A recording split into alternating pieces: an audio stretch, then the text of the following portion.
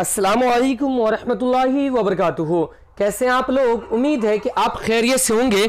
मैं हूँ सरफराज आलम और आप देख रहे हैं इस्लामिक ज़िक्र।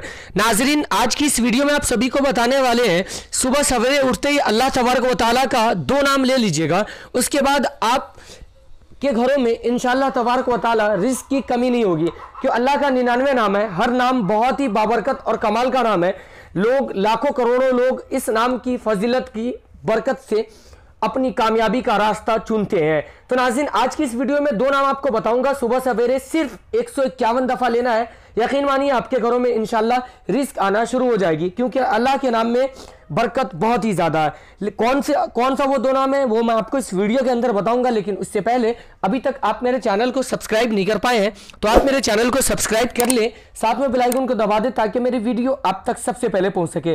और एक प्यारा सा लाइक करना बिल्कुल भी मत भूलिएगा। नाजरीन, यूँ तो दुनिया में बहुत लोग परेशान होते हैं, बहुत लोग ऐसे होते हैं जो अपना दर्द किसी को बताते हैं, लेकिन बहुत लोग ऐसे होते हैं जो अपना दर्द किसी को बताते नहीं है। बताने वालों में से कुछ ऐसे भाई बहन है जो हमें कमेंट कर कर बोलते हैं कि सरफाज भाई, मैं बहुत ज़्यादा परेशानी आलू। आप मेरे लिए दुआ करें कि मेरी सारी परेशानी दूर हो जाए। तो यकीन मानिए, मैं ऐसे भाइयों और ऐसे बहनों के लिए दुआ तो करता ही हूँ कि अल्लाह उनकी तमाम परेशानियों को दूर फरमाए, उनके तमाम नेक मकासद को पूरा फरमाए। आमिन सुमामिन लेकिन कुछ चीज़ें होती है, वजीफे के ज़रिए भी हासिल कर लिया जाता। तो आज का वजीफा बहुत ही कमाल का वजीफा है, रिस्क के लिए अगर आपके घरों में रिस्क नहीं है तो। नाजिन बहुत ऐसे लोग हैं जो मेहनत करते हैं कारोबार में या तरक्की पाने के लिए कि कारोबार में तरक्की हो, या तो कुछ ऐसे लोग हो, पैसे तो अच्छे कमाते हैं, लेकिन उस पैसे से बरकत नहीं होती। या कुछ ऐसे लोग हैं, हमारे भाई जिनके पास रिस्क का कोई ज़रिया नहीं है, मेहनत करने के बावजूद भी नहीं। तो नाजिन, करना क्या है कि ये फजर की नमाज़ के बाद सुबह सवेरे उठते ही फजर की नमाज़ आपको पढ़ना है। उसके बाद जहाँ पे आप नमाज़ पढ़े, वहीं पर बैठे रहना है और एक सौ इक्यावन दफ़ा सिर्फ़ अल्लाह का दो नाम लेना है। शुरू और आखिर में आपको एक हज़ार एक एक मरतबा दरूद शरीफ पढ़ लेना है। कोई भी दरूद शरीफ आप पढ़ सकते हैं, इसमें कोई हर्ज नहीं है। लेकिन बेहतर यह कि आप दरूद इब्राहिमी पढ़े जो नमाज़ में पढ़ा करते हैं, वो आपको याद ही होगा। उसके बाद आपको अल्लाह का दो नाम लेना है। कौन सा दो नाम है, वो मैं आपको बता दूँ। बिस्मिल्लाहिर्रहमानिर्रहीम।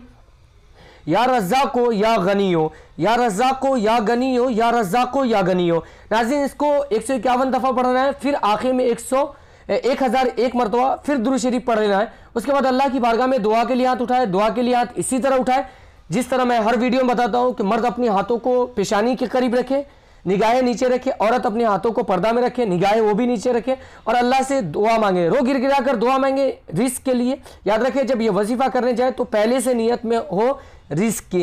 तो अल्लाह बेशुमार अपने फरिश्तों के ज़रिए रिस्क आपके घरों तक पहुंचवाएगा। हाँ नाजिन, इसका ख्याल रखें कि आजमाने के नीयत से न करें। लगातार आप 21 दिन तक इसी तरह करें 21 दिन के अंदर में इंशाल्लाह तबरक ताला इसकी इसका करिश्मा आपके सामने आ जाएगा। नाजिन, मेरी सोच और इस्लामिक ज़िक्र की सोच है कि तमाम मुसलमान भाई और बहन नमाज़ के पाबंद बने तो आप भी नमाज़ पढ़े और नमाज़ की दावत दें। अगर आपके एक हिदायत से कोई नमाज़ पढ़ना शुरू करता है तो आप भी इस में शामिल हो जा रहे हैं।